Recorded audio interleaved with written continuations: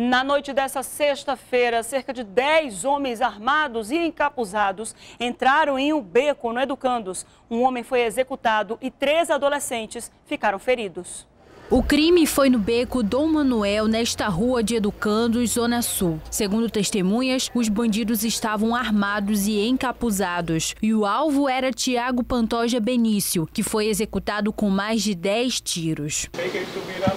Foi ver, eram muito da Tipo assim, bang bang. Segundo informações da Polícia Civil e da Delegacia de Homicídios e Sequestros, Tiago estava no beco com outros três adolescentes, um de 15 e dois de 17 anos. Eles também foram baleados e foram encaminhados para um hospital aqui da capital. O caso mais grave é de um dos adolescentes de 17 anos. Ele foi atingido com um tiro nas nádegas e a bala perfurou a bexiga. A vítima foi levada ao Hospital João Lúcio e passou por uma cirurgia. Os outros dois dois adolescentes já tiveram alta. O caso vai ser investigado pela Delegacia Especializada em Homicídios e Sequestros.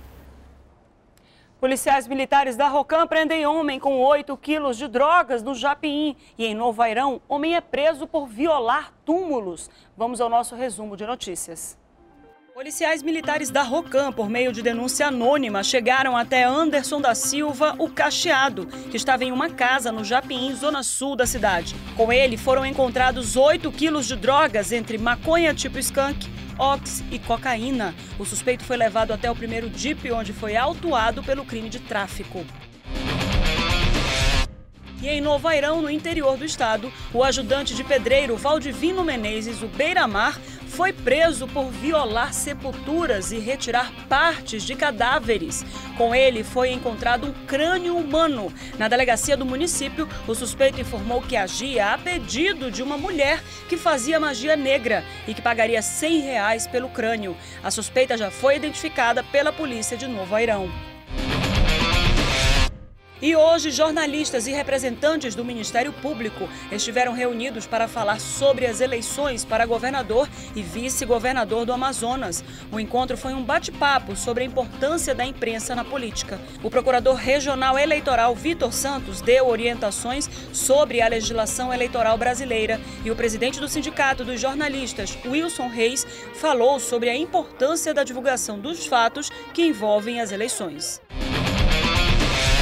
E por volta de meio-dia deste sábado, Manuel Carlos Moura e Railan dos Santos foram presos por policiais militares do Francisca Mendes, zona norte da cidade. Com eles foram encontradas uma porção de pasta base de cocaína e uma arma calibre 38. Os suspeitos foram encaminhados ao 6 Distrito Integrado de Polícia, onde foram autuados.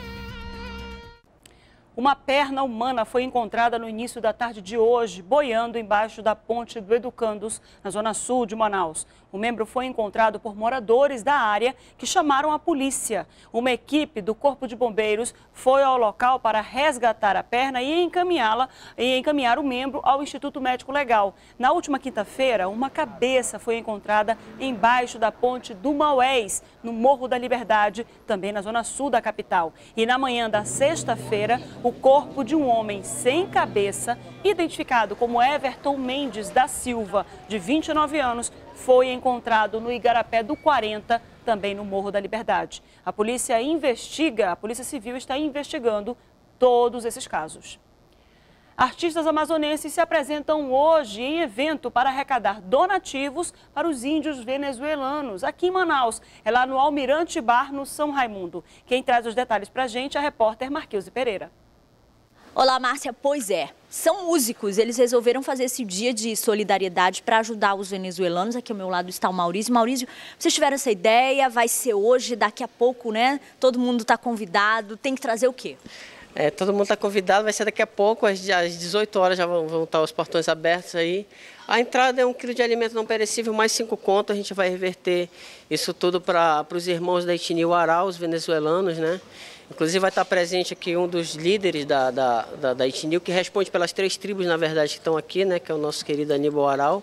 E vai ter muito som, né? A galera, a galera assim, do, do cenário underground, alternativo de Manaus, vão ter todo mundo presente aí. E de noite não é diferente, não. Tá todo mundo convidado, um quilo de alimento e cinco reais para entrar. Eu volto com você no estúdio.